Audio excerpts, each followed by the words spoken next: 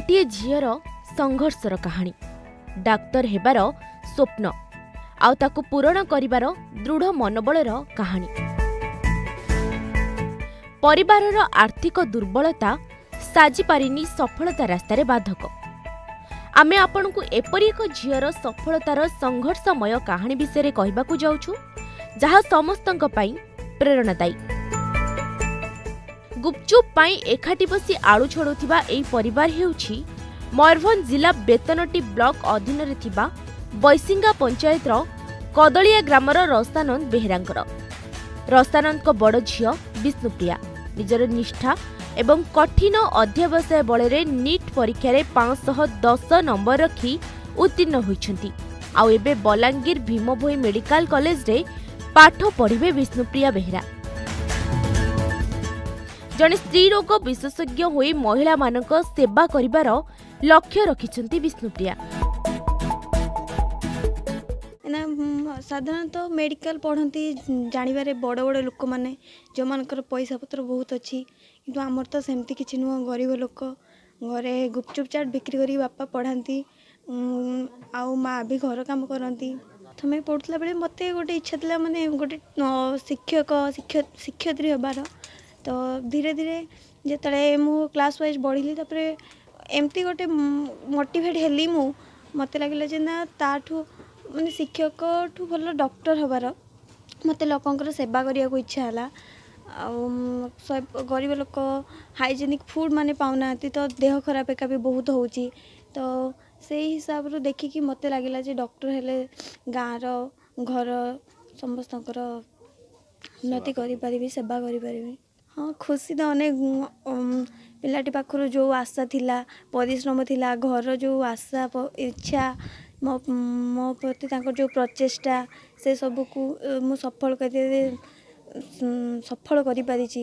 ତେଣୁ ପାଇଁ ଖୁସି ଘରେ ବି ବହୁତ ଅଛନ୍ତି ମୁଁ ବି ଅଛି। ସାର୍ମାନଙ୍କୁ ଟିକେ ଧନ୍ୟବାଦ ଦେବା ମୋ ଦୁଃଖ କଷ୍ଟ ସହିକି ଦୋକାନଟା କରିବାର ଆମର ଟିକେ ସହାୟତା କରି- କରୁଅଛି ଆଉ। ଆଉ ଘର ସଂସାର ଚଳେଇକି ଆଉ ବିଜନେସ୍ ନାହିଁ କିଛି ଖାଲି ଚାଇ- ବିଲ ବାଡ଼ି ବି ନାହିଁ ଆଉ ଦୋକାନଟା ଆଜିକି କୋଡ଼ିଏ ବର୍ଷ ହେଲା ଦୋକାନ ଧରିକି କରି ଚାଲିଛି ରାସ୍ତା କଡ଼ରେ ପଡ଼ି ରହିଛି ଆଉ ଦୋକାନ ଚଲେଇଛି ଆଉ ସେ ବାପା ମାଆକୁ ଚାହିଁକି ଏହା କରିଛି ଆଉ ଡ- ଡକ୍ଟର ହ- ହେବା ପାଇଁ ଟିକେ ବଡ଼ ଡକ୍ଟର ହେବା ପାଇଁ ଚାହୁଁଛି ଆଉ ସରକାରୀ ସହାୟତା କିଛି ପାଇଛନ୍ତି ଆପଣ ନାଇଁ ସରକାର ଟିକେ ଦେଇଥିଲେ ସାହାଯ୍ୟ ମିଳିଥିଲେ ଭଲ ହେଇଥାନ୍ତା ଆଉ ଅନେକ ଦୁଃଖ କଷ୍ଟରେ ରସାନନ୍ଦ ବେହେରା ବୈସିଙ୍ଗା ବଜାରରେ ଏକ ଠେଲାରେ ଗୁପଚୁପ୍ ବିକ୍ରି କରି ନିଜର ପରିବାର ପ୍ରତିପୋଷଣ କରିଥାନ୍ତି। ନା ଭଲ ଘରଟିଏ ଅଛି ନା ଦିନକୁ ତିନି ଓଳି ଭଲରେ ଖାଇବାକୁ ଅଛି। ଭଙ୍ଗା ଘରେ ଅତି ଦୁର୍ଦ୍ଦିନରେ କଟୁଛି ଜୀବନ। ଆବାସ ଯୋଜନାରେ ଘରଟିଏ ମଧ୍ୟ ମିଳିପାରିନାହିଁ। ଏପଟେ ଝିଅର ଡାକ୍ତରୀ ପଢ଼ା ପାଇଁ ଅର୍ଥର ଆବଶ୍ୟକ ଥିବାବେଳେ ପରିବାରରେ ତାହା ଏବେ ଚିନ୍ତାର ବିଷୟ। ତେଣୁ ଝିଅର ପଢ଼ା ଖର୍ଚ୍ଚ ପାଇଁ ସରକାରୀ ସହାୟତା ପାଇଁ ନିବେଦନ କରିଛନ୍ତି ବିଷ୍ଣୁପ୍ରିୟାଙ୍କ ମା। ସେପଟେ ବିଷ୍ଣୁପ୍ରିୟା ଅନ୍ୟମାନଙ୍କ ପାଇଁ ପ୍ରେରଣାର ଉତ୍ସ ବୋଲି କହିଛନ୍ତି ସ୍ଥାନୀୟ ଅଞ୍ଚଳର ବୁଦ୍ଧିଜୀବୀ। ସେ ପ୍ରଥମରୁ ପଢ଼ି ଆସିଛି ଆଉ ତାକୁ ନେଇକି ହଷ୍ଟେଲରେ ରଖା ହେଲା। ଆଉ ପ୍ରଥମ ହେଇ ଆସିଛି ସବୁ କ୍ଲାସ୍ର ଆଉ ତାର ଇଚ୍ଛା ଡକ୍ଟର ହେବା ପାଇଁ। ଆଉ ସିଏ ସମସ୍ତଙ୍କର ବାପା ମାଆର ଆଶୀର୍ବାଦ ଜେଜେମା ଜେଜେମାଙ୍କର ଆଉ ଶିକ୍ଷକମାନଙ୍କର ଯେ ଲାଷ୍ଟର ମାନେ ଡାକ୍ତର ମାନେ ପାଇଗଲା ଇଏ। ଆଉ କଷ୍ଟ କରି ବହୁତ କଷ୍ଟ କରିକି ଆଉ ରୋଜଗାର ଆଉ ଗୁପଚୁପ୍ ବେପାର କରିକି ବହୁତ ଖୁସି। ଦେଶର ସେବା କରିବ।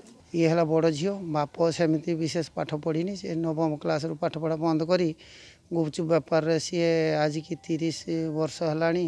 ସିଏ ଗୁପଚୁପ୍ ବେପାର କରୁଛି ସେଇ ଗୁପଚୁପ୍ ବେପାରରୁ ଯାହା ପଇସା କିଛି ପାଏ ଘର ପ୍ରତିପୋଷଣ କରେ ଏବଂ ଛୁଆମାନଙ୍କୁ ପାଠ ପଢ଼ାଏ ଯାହା ବି ହେଉ ସିଏ ଉଁ, ବଲାଙ୍ଗୀରରେ ପାଇଛି ଆଉ ଏଥିପାଇଁ ଆମେ ଗ୍ରାମବାସୀ ଗର୍ବିତ। ଯାହା ବି ହେଉ ଗୋଟେ ଗରିବ ପରିବାରର ଝିଅ ଅଁ, ମାନେ ଯେ ମେଡ଼ିକାଲ ପାଇଛି ସେଥିପାଇଁ ଆମେ ବହୁତ ଖୁସି। ସମାଜ ପାଇଁ ପ୍ରେରଣା ଏବଂ ଉଦାହରଣ ପାଲଟିଥିବା ବିଷ୍ଣୁପ୍ରିୟାଙ୍କ ସ୍ୱପ୍ନ ପୂରଣରେ ଅର୍ଥ ଯେ ବାଧକ ନ ହେଉ ଏହା ହିଁ ସମସ୍ତଙ୍କ ଆଶା। ଆଉ ସରକାରୀ ବ୍ୟବସ୍ଥା ଏଥିପ୍ରତି ଦୃଷ୍ଟି ଦେବା ମଧ୍ୟ ଜରୁରୀ। ମୟୂରଭଞ୍ଜ ବଡ଼ସାହିରୁ ମନୋରଞ୍ଜନ ବେହେରାଙ୍କ ରିପୋର୍ଟ ଅର୍ଗସ୍ ନ୍ୟୁଜ୍।